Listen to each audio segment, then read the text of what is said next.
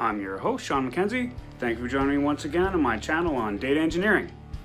In this episode, we return to our Microsoft Access playlist, and while in a previous episode we did the do while loop, in this episode we're going to do the do until loop, which is another way of uh, doing loops in your programming. So without further ado, let's get to our do until loop in Microsoft Access. Need help or coaching on your project? Make sure to check out my Patreon. The link is in the description. Okay, so for this uh, discussion, we're going to uh, use the same file we've been using for many of our other um, many of our other demos, and uh, I'm going to look at this date demo table. It's just a simple table that has uh, 34,000 records in it uh, with an index and a field called date rep on it. And um, what I'm going to do is I'm going to make a loop that's going to go through that table, iterate through that table, and uh, we're going to put some uh, until conditions on it. And so um, I'm going to add the uh, module by going to the create ribbon and I'll uh, click on module there and then uh, and then that gives me a new module which I'm going to save right away here and I'll save throughout um, throughout the programming. And uh, but I'll put a, a name on it. I'll call it our our do until loop module. And uh, and that's going to give us a, a, nice clean slate to work with. So uh, that's going to get us started. So I'll start a subroutine here and uh, very simple uh, one that we can just uh, we can just click the little play button you see on the toolbar uh, because uh, we will not have any arguments in our subroutine to start with um, so that's the easiest way to run it when we want to so this is kind of the simplest way to make a subroutine it'll help to loop through the table and we're just going to output the dates. And uh, so in order to do that, I'm going to do some basic uh, setup here. I'll, I'll reference our database in a variable and we'll, we'll have a, a record set variable as well. And, uh, and I'll just set our, my database equal to our current database. And uh, I like to uh, set our database to nothing at the end of the procedure um, to release resources there.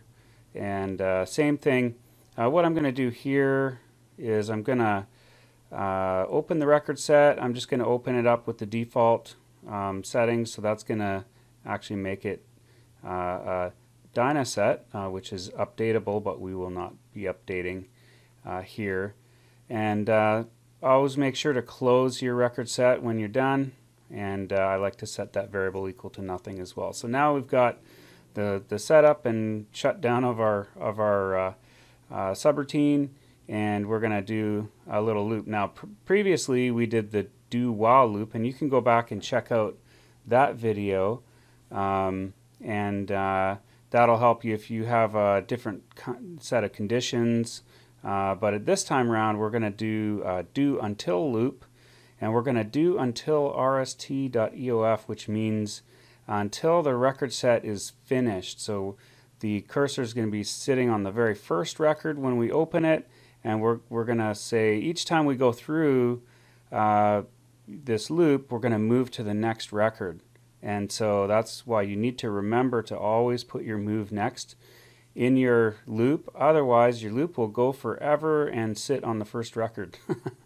And you'll have to you know shut it down using the task manager or something like that. Um, so always remember to put your move next in there when you're looping through your record set. Uh, but what we're, what we're going to do this time is we're going to say debug.print, and that's going to put the uh, information into the immediate window down below that you see there. And, uh, and uh, this is sort of a simple way of looping through. I don't remember the name of the field, so I'm going to go back and get it here. Uh, okay, it's called the date rep field. I forgot that. So I'll go back to our IDE window and uh, we're going to put that in as the name of the uh, field that we want to output the data for. And, uh, and I'll concatenate that uh, with some text. I'll just say date or something like that. And we're good to go. Uh, so now what I can do is, like I said before, um, we can, you know, run this using the toolbar up above, uh, or we can type the name of the subroutine into the immediate window. And I'll also put some feedback uh, at the very end of our procedure there saying done, uh, so that when we execute our loop date subroutine, uh, it'll tell us that it's done. Uh, so uh, what we can do from here is we can go ahead and uh, hit that go button and it's going to give us what we want to see. So there you can see it's kicked it off and our very simple procedure is just looping through the entire record set and you'll see that it goes to uh, not responding which is uh, it's pretty common for if a loop takes too long and you, and you don't have something in there um, I do have another video called uh, uh it that covers using mod uh, with do events um, so check out that video because it'll tell you how to avoid that um, uh, the not responding message.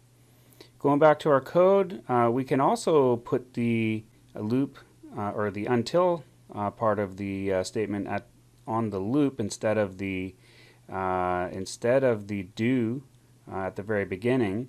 And if we if I delete all that output and I go back and I rerun it using loop until, uh, we get the same result.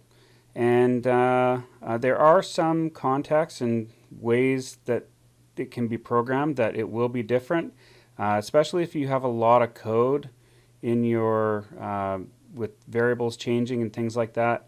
Um, it might exit at a different time between do and loop uh, if you put the until on either end of those. but in this case, um, it gets the same result. Um, so there you can see it looped all the way to the end of the record set, which was uh, backwards in time order. So that the first one was uh, March 21st, 2020. Uh, make sure to, to remember uh, to put your rst.move next on there um, inside of your loop, as I mentioned before, and uh, that's going to uh, make sure that you go all the way to the end. Okay, and I will also add that um, there are some other conditions that you might um, you know, have as part of your do until. Um, so we could pass in an argument saying, uh, you know, loop through the dates, but stop at a particular um, counter row or something like that. And so uh, what we would do there is we can put our, our long integer stop at variable into the arguments at the top. And then we'll make a new uh, variable called uh, you know long record which is uh, long integer. And we'll set that to zero as I just did there. And then I'll, uh, I'll just say you know uh, our record counter is equal to the record counter plus one so each time that the loop goes through it's going to increase um, increment the uh, long integer by one and uh, and then now we have another variable that we can look at uh, and we can do something like you know loop until uh, the record is equal to the stop at that we mentioned that we put into our arguments there. And so you can use this in various ways. Um, in a similar way to do while, um, you know, the do while loop. And each technique has its own uh, subtleties to it. Uh, so as you can see, if I run that, I put in the loop dates and I put 10 as our stop at you'll see that it looped through the record set starting at the first record and ended at the 10th record. Uh, and that was uh, what we wanted our procedure to do. Um, now in this case we could actually put the do until um, at the top. We could put the until part of it at the top and we can rerun that and that'll give us the same, uh, the same output um, as before but it's just a different way of doing it. Um, in some case you some cases you might have other ways or you might be loading your variables in certain ways and you might prefer to do it at the put it on the loop part as opposed to the do part.